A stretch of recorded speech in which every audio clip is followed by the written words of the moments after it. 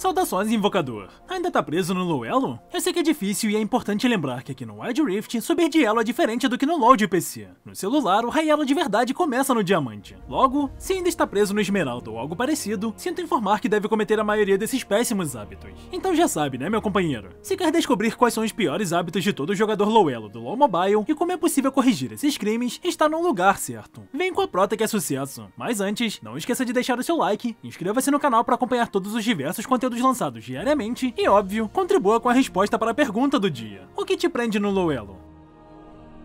Ignorar o minimapa. O Wide Rift é um ambiente mais dinâmico e com um mapa mais compacto. Porém, ninguém nunca falou que aqui não precisava olhar o minimapa. Ou se disse, fez um equívoco. É super importante começar logo com essa dica, porque se jogando em monitores gigantes ou telas HD o cara não consegue olhar o minimapa, imagina no mobile onde o recurso é ainda menor. Quase todos os jogadores low elo não costumam pensar no Wide Rift como um jogo em equipe, e sim baseado em confrontos individuais. Até faria sentido o elo ser determinado pelo desempenho do player, mas não é. É um jogo 5 contra 5, e se receber um gank não adianta ficar chorando. É super importante que esteja preparado, e consultar o minimapa é a melhor forma de fazer isso. Guardar é fundamental. No entanto, não vai adiantar nada saber distribuir sentinelas se não perceber o que ela está cuidando e qual inimigo está passando por ali. Ao invés de perder tempo digitando no chat do celular, use esse tempo para olhar o minimapa. Criar esse hábito é a única forma de deletar a mania de ignorar a presença do mapa e reclamar que foi gankado.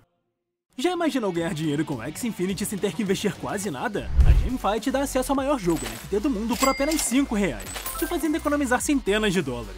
A empresa está revolucionando o mercado mundial de criptogames, possibilitando o acesso a todos os que quiserem jogar jogos NFT. É rápido, fácil e seguro.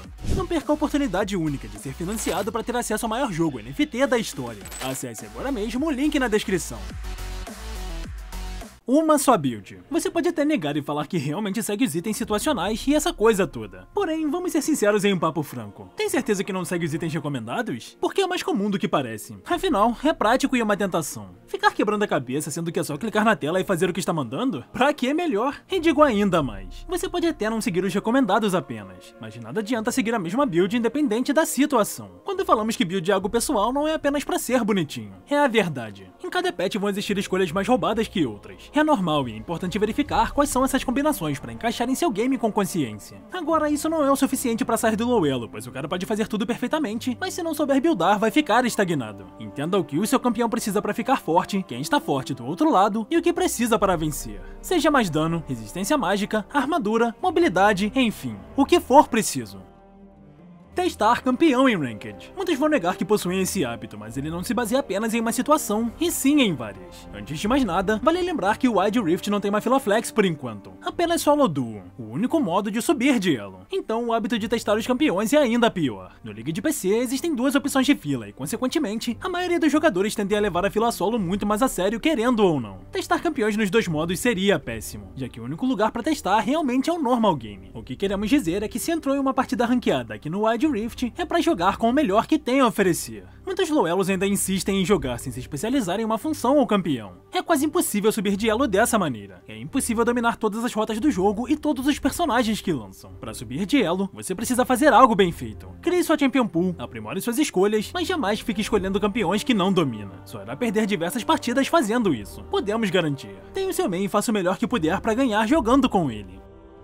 Lutar nos piores momentos. Todo low elo tem esse hábito horrível, lutar em momentos que não deveria. É incrível e até difícil entender o que acontece, mas se existe a chance de uma péssima luta acontecer, ela vai acontecer. Isso vale tanto para situações onde a equipe está ganhando, quanto para quando o time está perdendo. O Wild Rift é um jogo baseado em estratégia, e não apenas na skill que você escolhe utilizar. Aquela luta muitas vezes já está perdida muito antes de acontecer. Existe um movimento de aceitar lutar, ou de evitar a teamfight por enquanto, e isso diz muito sobre sua qualidade como player. Aqui entram diversas coisas coisas diferentes que precisam ser analisadas, como o momento de força de cada campeão da composição, visão e informação ao redor do lugar em que está prestes a acontecer uma luta, seu gold na bag, quanto precisa para comprar itens importantes e se algum objetivo está prestes a nascer ou não fazer apenas o básico. Quando falamos de fugir do básico, não estamos querendo que ninguém gaste o flash para dar dano, beleza? Acontece que muitos jogadores low elo não costumam pensar sobre as situações em que se encontram ou em condições de vitória. Um termo tão importante. O hábito da maioria deles é entrar no game, tentar ganhar a fase de rotas e se perdeu, já aceitam a derrota na maioria das vezes. Vamos de próximo. Concorda comigo que fica impossível subir de rank desse jeito? Se tem 10 jogadores naquela partida e todos eles fazem o básico, o único que pensará diferente é o que sairá vitorioso. Pode parecer que não por muitas coisas acontecerem no automático, mas não existe apenas um botão para apertar, apenas um jeito de ganhar o game. Vai ganhar o time que derrubar o Nexus, mas existem diversas formas de fazer isso, seja preparando uma armadilha para o time, apostando no split, no pick-off, enfim, são diversas situações que um low elo ignora. Abra sua mente, seja mais versátil e verá que não precisa aplicar a mesma estratégia em toda a partida. Por hoje é só, boa sorte no Rift e até a próxima, Invocador!